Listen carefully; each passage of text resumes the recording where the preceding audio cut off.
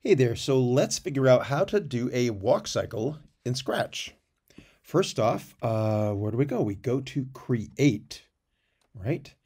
And we get ourselves a blank coding area and stage there. And the first thing you gotta figure out though is uh, who are you going to give a walk to? So the cat isn't so great because it only has two walk positions and that's just gonna make, make it look like he's jumping. So let's first off find a better sprite. Now Avery definitely has a good walk and Pico down there has a good walk.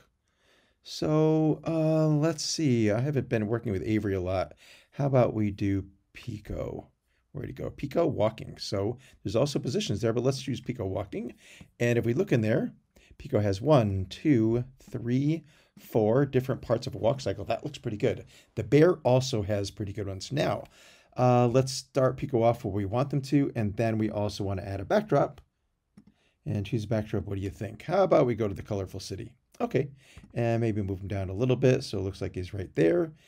And let's get to coding. So what's the first thing we're going to do? Let's start off with when green flag is clicked. And then we wanted Pico to start there. So let's start with, uh, because he's going to go someplace, let's make sure he always gets back to his spot. So we're going to go to XY. It's already marked out for us, minus 161, minus 47. See, it matches these numbers over here.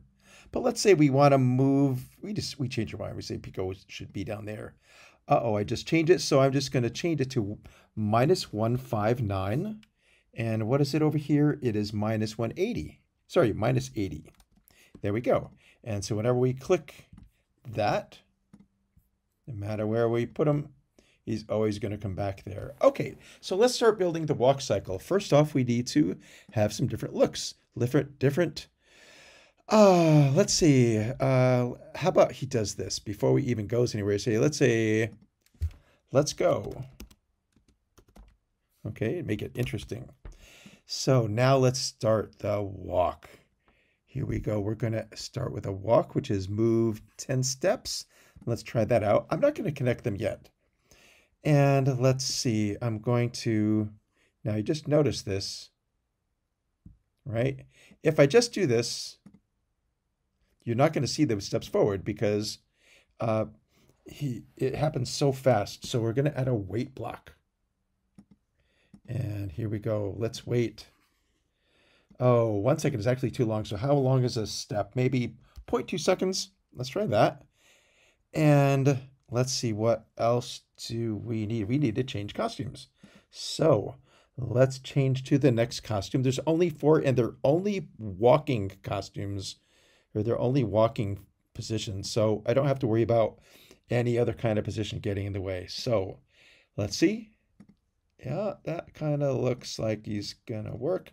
Maybe move a little further, like 15 steps. Yeah, that works. Yeah, that kind of works. Okay, now we're just going to take these three things. Next costume, steps, wait. Next costume, steps, and wait.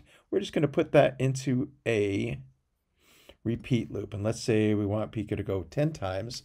And now, so that's going to, that whole thing's going to just repeat 10 times. Now we'll connect it there. And now let's start it.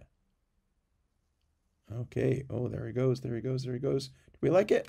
Yeah, you know something? I want him to go a little further, so I'm going to change the repeat to, oh, 13. Let's try it again. Starts at the beginning, says, let's go. And then there he goes. Let's now say that we have to save now. I've got to say Pico walk. And then I'm going to share. And then up there, I'm going to say what my instructions are. Just click the green flag. And then I'm going to just add to studio. Okay, and you've got to find the studio walk cycles. So whatever period you are, walk cycles period one, period two, period three, and then just click OK. All right, so I'm not going to do that. And it looks like I needed to solve it here as well. Whoops. Okay, that's it.